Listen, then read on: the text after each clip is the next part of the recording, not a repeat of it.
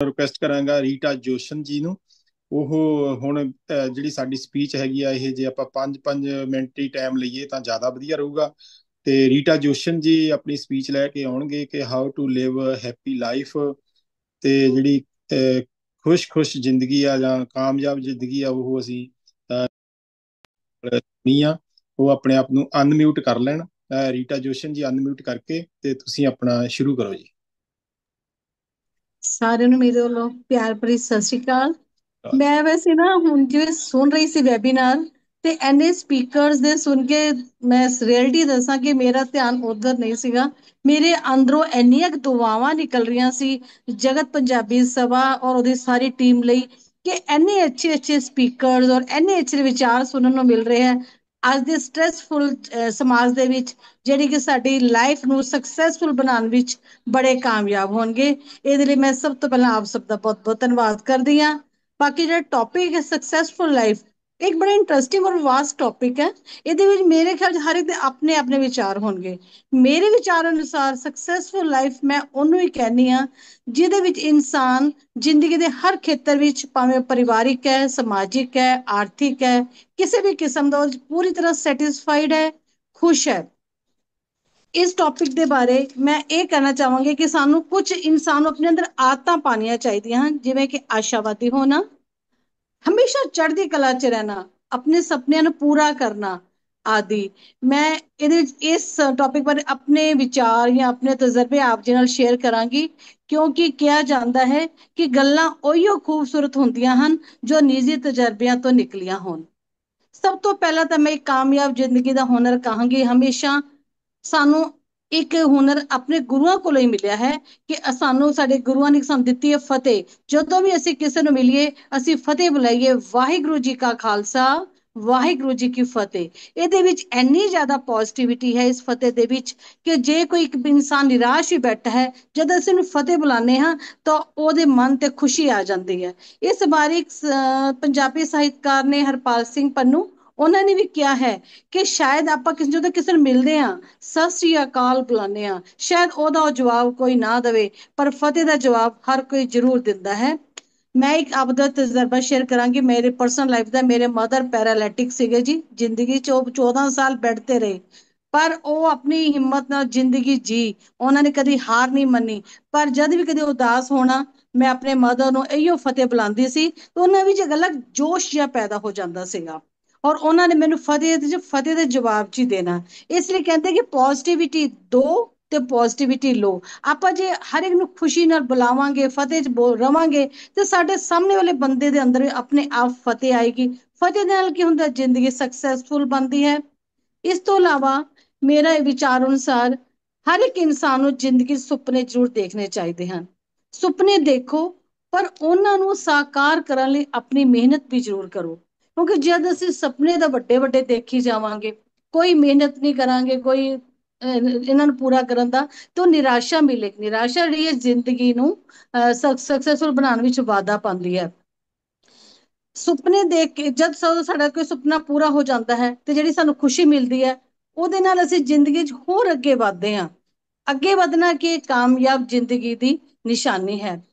ਮੈਂ ਆਪਣੀ ਲਾਈਫ ਦੇ ਜਿਵੇਂ ਮੈਂ ਦੱਸਿਆ ਕਿ ਮੈਂ ਤਜਰਬੇ ਆਪ ਜੀ ਨਾਲ ਸ਼ੇਅਰ ਕਰਾਂਗੀ, ਇੱਥੇ ਮੈਂ ਆਪ ਜੀ ਨਾਲ ਦੱਸਣਾ ਚਾਹਨੀ ਹਾਂ ਕਿ ਜੋ ਮੇਰੀ ਜੌਬ ਸੀ, ਉਹਦੇ ਵਿੱਚ ਮੇਰਾ ਸੁਪਨਾ ਸੀ ਕਿ ਮੈਂ ਆਪਣੀ ਜ਼ਿੰਦਗੀ 'ਚ ਇੱਕ ਅੱਛਾ ਸਪੀਕਰ ਬਣਾ ਜਾਂ ਮੈਨੂੰ ਅਲੱਗ-ਅਲੱਗ ਟੌਪਿਕਸ ਤੇ ਆਪਣੇ ਵਿਚਾਰ ਪੇਸ਼ ਕਰਨ ਦਾ ਮੇਰਾ ਸੁਪਨਾ ਹੁੰਦਾ ਹੈ ਕਿ ਮੈਂ ਬੋਲਿਆ ਕਰਾਂ।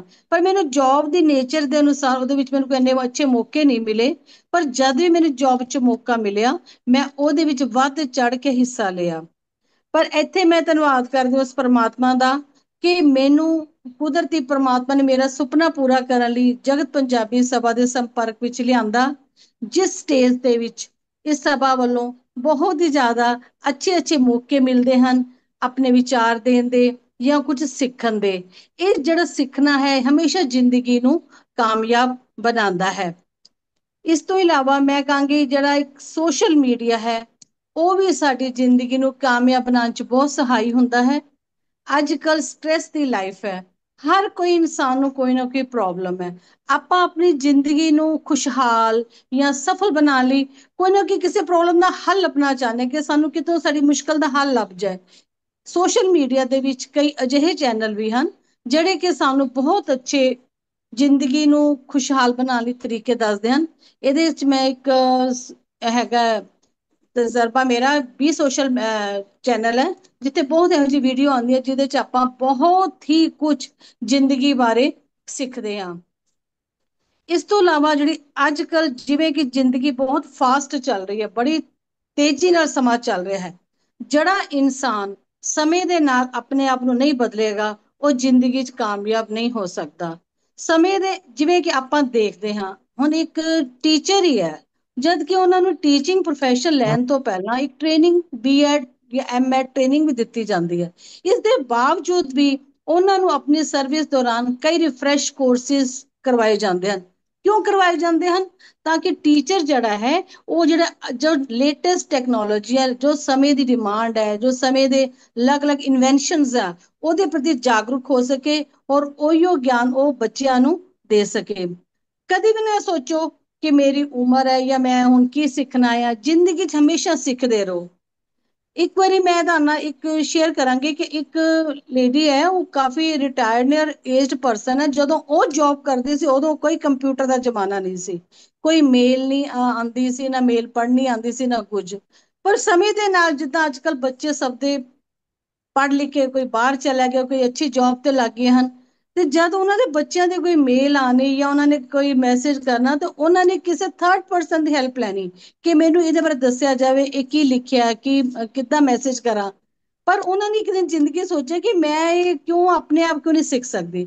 ਉਹਨਾਂ ਨੇ ਆਪਣੀ ਮਤਲਬ ਕਿ ਇੱਕ 올ਡ ਏਜ ਦੇ ਵਿੱਚ ਨਵੀਂ ਟੈਕਨੋਲੋਜੀ ਜਿਹੜੀ ਸਾਡੀ ਕੰਪਿਊਟਰ ਦੀ ਆਈ, ਇਹਦੇ ਹਰ ਇੱਕ ਚੀਜ਼ ਨੂੰ ਕਿਦਾਂ ਈਮੇਲ ਕਰਨੀ ਹੈ, ਕਿਦਾਂ ਮਨੀ ਟ੍ਰਾਂਸਫਰ ਕਰਨੀ ਹੈ, ਹਰ ਇੱਕ ਕੰਮ ਨੂੰ ਸਿੱਖਿਆ। ਔਰ ਉਹ ਸਿੱਖ ਕੇ ਕੰਮ ਜਦੋਂ ਆਪਣੇ ਆਪ ਕਰਨ ਲੱਗ ਪਏ ਕੰਮ ਐਨਾ ਆਪਣੇ ਆਪ ਨੂੰ ਉਹਨਾਂ ਨੂੰ ਖੁਸ਼ੀ ਮਹਿਸੂਸ ਹੋਈ ਕਿ ਮੈਂ ਕਿਸੇ ਤੋਂ ਘੱਟ ਨਹੀਂ ਹੈਗੀ। ਇਹ ਖੁਸ਼ੀ ਜਿਹੜੀ ਹੈ ਜ਼ਿੰਦਗੀ ਨੂੰ ਕਾਮਯਾਬ ਬਣਾਉਂਦੀ ਹੈ। ਇਸ ਲਈ ਹਮੇਸ਼ਾ ਆਪਣੇ ਆਪ ਨੂੰ ਹਰ ਕੰਮ ਕਰਨ, ਆਪਣੇ ਆਪ ਕਰਨ ਦਾ ਸੋਚੋ, ਕਦੇ ਕਿਸੇ ਤੇ ਡਿਪੈਂਡ ਨਹੀਂ ਹੋਣਾ ਚਾਹੀਦਾ ਹੈ। ਇਸ ਤੋਂ ਇਲਾਵਾ ਜਿਹੜਾ ਸਾਡਾ ਆਪਾਂ ਨੂੰ ਖੁਸ਼ਹਾਲ ਜ਼ਿੰਦਗੀ ਜੀਣ ਲਈ, ਖੁਸ਼ਹਾਲ ਕਹਿ ਲੋ ਸਕਸੈਸਫੁਲ ਲਾਈਫ ਬਣਾਉਣ ਲਈ, ਪਰਿਵਾਰ ਦੇ ਵਿੱਚ ਮੈਕਸਿਮਮ ਵਿਚਰੋ ਸਮਾਜ ਵਿੱਚ ਮੈਕਸਿਮਮ ਵਿਚਰੋ, ਜਿਹੜੇ ਵੀ ਸਮਾਜਿਕ ਫੰਕਸ਼ਨਸ ਆ, ਉਹਨਾਂ ਵਿੱਚ ਜ਼ਰੂਰ ਜਾਣਾ ਚਾਹੀਦਾ ਹੈ।